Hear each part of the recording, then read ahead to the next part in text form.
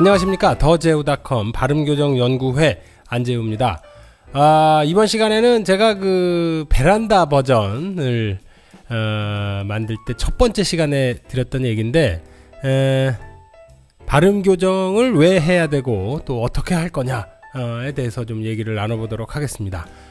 어, 발음 교정을 왜 해야 되느냐 에, 결론부터 좀 말씀을 드리면 어, 의사소통을 좀 더 수월하고 어, 정확하게 하기 위해서다 어, 라고 말씀을 드릴 수가 있겠습니다. 이 교정이라고 하는 게 잘못된 거를 에, 바르게 고쳐준다 뭐 이런 의미가 있지 않습니까? 그래서 어, 뭐 간단하게 얘기해서 발음 교정이다라고 하면은 에, 그 소리를 정확한 소리를 낼 수 있도록 해주는 과정이다 이렇게 생각을 하시면 되는 거죠. 그럼 뭐가 뭐가 정확한 소리냐? 어, 우리가 또 짚어보고 넘어가지 않을 수 없는 그런 부분인데 아, 이렇게 생각하시면 될 것 같아요. 그러니까 인간이라는 짐승이 나타났을 때 이 뭐 좀 여러 가지 소리들을 냈을 거 아닙니까? 어?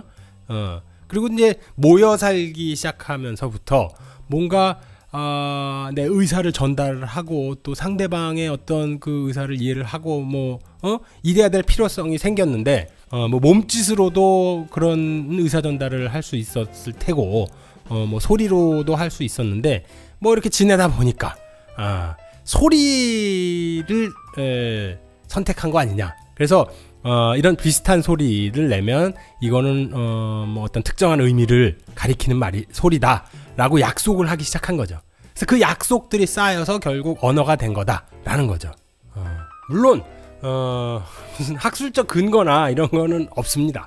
어, 제가 뭐 따로 조사를 해서 지금 여러분들한테 이렇게 말씀을 드리는 게 아니기 때문에 뭐 그런 걸 내놔라 그러면 할 말이 없습니다만 아, 그렇다고 또 완전히 말이 안 되는 뭐 이런 거는 아니잖아요. 예. 그래서 그냥 이걸 가지고 제가 나름대로 내린 결론은 어, 어떤 특정 언어를 가지고 의사소통을 한다라는 건 음, 그 언어가 가지고 있는 약속들을 지켜주는 거다라는 거죠.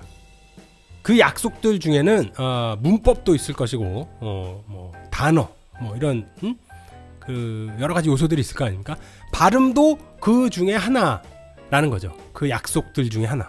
그래서 어, 정확한 소리라는 거는 결론적으로 그 약속과 그 규칙에 맞는 음, 들어맞는 그런 소리들을 말하는 거고 발음 교정의 과정이라는 건 그그 그 약속에 맞지 않는 나의 소리를 예, 약속에 맞도록 음, 고쳐주는 과정이다. 라고 생각을 하시면 된다 라는 겁니다. 근데 우리가 어, 여기서 한 가지 분명히 하고 넘어가야 될 부분이 뭐냐면 어, 제가 지금 말씀드린 그 약속 발음과 관련된 약속들을 지킨다라는 의미가 원어민 발음을 하는 거는 아니다라는 거예요. 예. 그 원어민 발음이라고 하는 거는 이 약속이 지켜진 소리들 중에서 상당히 그 뭐랄까 좀 편안하고 자연스럽게 들리는 그런 소리들. 왜냐면 어렸을 때부터 계속 썼을 테니까 편에 익숙해진 소리들일 거 아니에요. 그러니까 그런 소리들이지 그 약속을 지킨 소리들 전체가 다 원어민 발음이 아니다라는 거예요. 음. 그러니까 그 안에 어떤 부분 집합인 거죠. 물론 원어민 발음이 그 약속들을 가장 완벽하게 지킨 상태를 말하는 거겠지만 어, 그 원어민 발음을 하지 못했다라고 해서 약속을 안 지킨 거다라고 할 수는 없다라는 겁니다. 에, 무슨 얘기냐면 어, 우리 말에서 그 저 하늘에 떠 있는 저 허연 거를 가리키는 어, 소리가 구름이잖아요. 구름. 어. 그걸 구름 이렇게 얘기를 소리를 내줘야지 아 구름을 얘기하는 거구나 우리가 받아들일 수 있는 건데 어? 외국인들이 와서 좀 엉성하게 발음을 했다라는 겁니다. 어. 그 상황을 좀 생각을 해보면 우리가 어느 정도 알아들을 수 있는 소리의 범위가 생기잖아요. 어.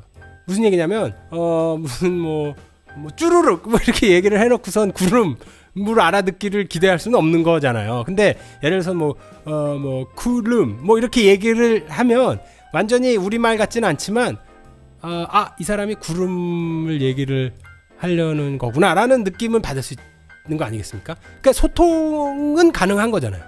그러니까 제가 지금 말씀드리고자 하는 거는 그 범위 안에만 들면 된다라는 거예요. 영어도 마찬가지인 거예요.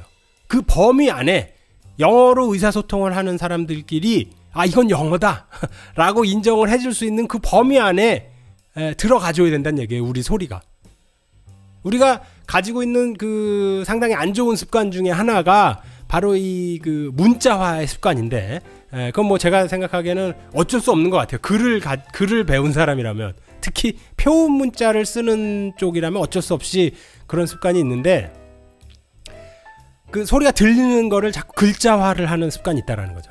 예, 아니면 뭐 어, 스펠링을 그냥 음? 바로 그냥 보이는 대로 글자를 해서 읽는 뭐 이런 것도 있겠습니다. 어쨌든 우리 소리에 최적화되어 있는 우리 글자로 바꿔서 그거를 읽으면 그거는 저쪽 언어의 약속과는 관계가 없어져 버린다라는 거예요. 그 순간. 음. 제가 그 어, 연습 요령이라는 강좌에서 그 예로 들었던 단어가 그 메사추세츠인데 이거를 마사추세츠라고 얘기를 안 하고 메사추세츠라고 하면 못 알아들을 확률이 한 8, 90%까지 간다는 얘기예요. 우리는 우리는 익숙하죠 메사추세츠가 왜냐면 그건 우리의 약속이니까 어 우리의 약속대로 정확히 읽은 거니까 왜 한글화 한글이라는 게 우리 소리를 표현하는 그런 데 최적화되어 있는 그런 도구잖아요. 예. 그 약속을 정확히 지켰으니까 우리한테는 편하지 메사추세츠가. 근데 그 메사추세츠 이렇게 해버리면 영어라는 언어에서 가지고 있는 약속들을 많이 위반을 한다는 겁니다. 강세도 안 들어가고 뭐 어? 그런 뭐 각각의 발음 기호들도 제대로 안 읽는 어? 상황도 생기고 어쨌든 그렇게 약속이 깨져버리니까 저쪽에서는 뭔 소리냐 이렇게 할 수 있다라는 거예요. 음. 그래서 그 매사추세츠가 그 완전히 그 미국 사람들처럼 발음이 안 되더라도 어, 어느 정도 그 약속을 지켜주면은 어, 의사소통이 훨씬 더 수월해진다라는 겁니다. 만약에 약속을 내가 다 지켰는데도 막못 어? 알아듣는 척하고 헤매고 뭐 어? 이런 놈들이 있으면 어, 그 그런 놈 상대하지 마세요 차라리. 예. 그뭐 소통할 가치가 없는 놈들이니까 아, 뭐 그런 사람들은 그냥 잊어버리시고 어, 어쨌든 중요한 거는 이 약속을 지키는 것과 예, 원어민 발음은 차이가 있다라는 거. 그 점을 좀 분명히 하고 넘어갔으면 좋겠다라는 겁니다. 자, 그러면 어떻게 해야 되느냐? 예, 어떻게 해야 우리가 그 얘기하는 이 정확한 소리의 범위에 들어가는 발음을 할 수 있겠느냐에 대해서 좀 어, 얘기를 나눠보도록 하겠습니다. 아, 물론 제가 만들어 놓은 그 강좌들을 가지고 열심히 공부를 하시면 뭐 되겠습니다만은 그냥 무작정 어, 열심히 한다고 되는 건 또 아니에요. 예. 한 가지 명심을 하셔야 되는데 몸으로 연습을 하셔야 된다라는 거예요. 그러니까 제가 그뭐 어? 사실 보시면 아시겠지만 내용이 별로 없잖아요. 예.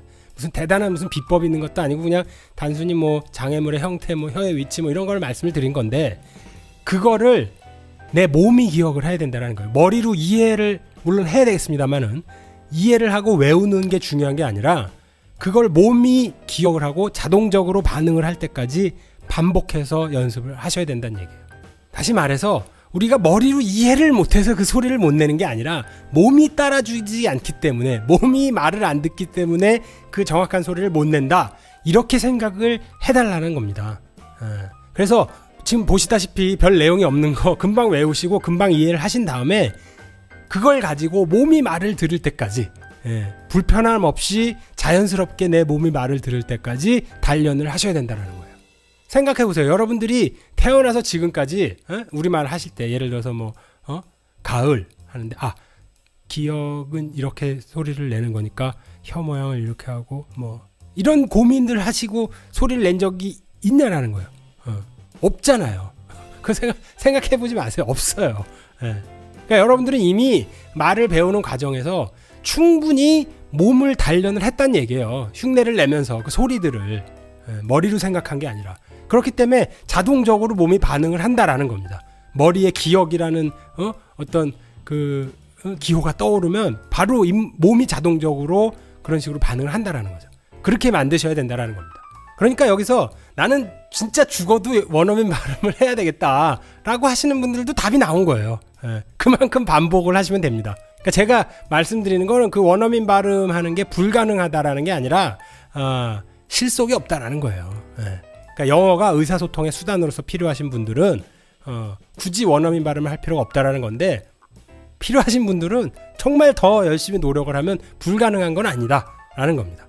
그런 분들은 이제 정말 그 연습 양도 늘려야 되고 반복하는 양도 늘려야 되고 생각도 영어를 해야 되고 뭐 그렇게 하시면 불가능하지는 않은데 그냥 그, 그 정도의 어떤 필요성이 없는 분들이라면 공연히 예, 원어민 발음에 대한 동경 때문에 스트레스를 받고 좌절을 하고 할 이유는 없다라는 겁니다. 아, 얘기가 좀 샜습니다만 어쨌든 에, 이 영어 발음은 몸으로 에, 공부를 하는 거다라는 점을 꼭 명심을 해주셨으면 좋겠습니다.